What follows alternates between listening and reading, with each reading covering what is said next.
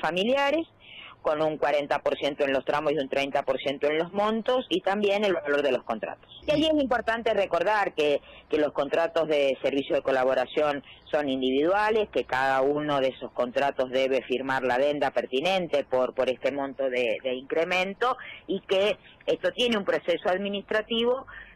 que seguramente lo van a cobrar eh, durante el mes de septiembre u octubre, pero por supuesto que es retroactivo al mes de agosto. Sí, pero este es muy importante el esfuerzo, toda vez que nosotros habíamos previsto en el presupuesto 2021 una, un incremento de aproximadamente el 25% en la recaudación. La, la, recuperación de la actividad económica ha ido permitiendo que la recaudación esté un poco por encima de lo presupuestado. En función de ellos, nosotros hemos tomado estas decisiones que este, son indefectiblemente eh, en línea con lo que establece y, y quiere el gobernador y, todo y todo el equipo de, que es mantener las cuentas equilibradas. Así que haciendo el máximo esfuerzo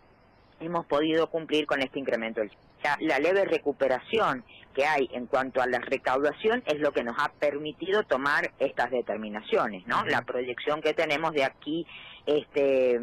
desde enero que empezó a recuperarse la actividad y que empezaron a crecer un poco más los recursos fue lo que nos ha permitido tomar eh, estas de decisiones que este eh, enhorabuena las podemos estar y a ver eh, eh, en las mesas cuando uno se sienta con el sector de la de la salud reconocen el esfuerzo reconocen los incrementos eh, desde mi parte comentarle que habiendo hecho al, alguna averiguación en el resto de las jurisdicciones somos las provincias que mejores salarios tienen en salud uh -huh. estamos entre los primeros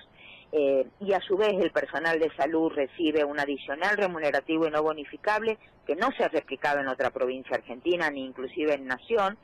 eh, del 25% sobre sus salarios de sobre su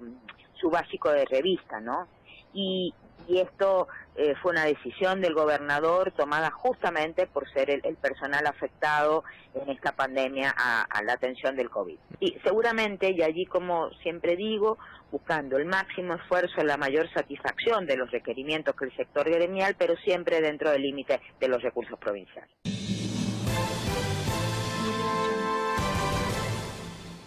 Bueno, eso es lo que